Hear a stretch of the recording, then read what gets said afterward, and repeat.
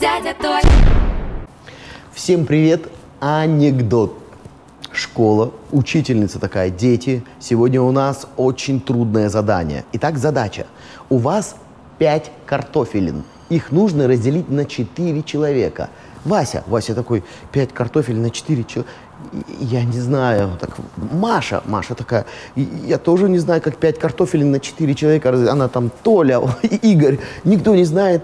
Мойша тянет руку, такая, таки можно я? Он говорит, да, да, давай, Мойша. Он говорит, не имейте мой мозг, сделайте пюре.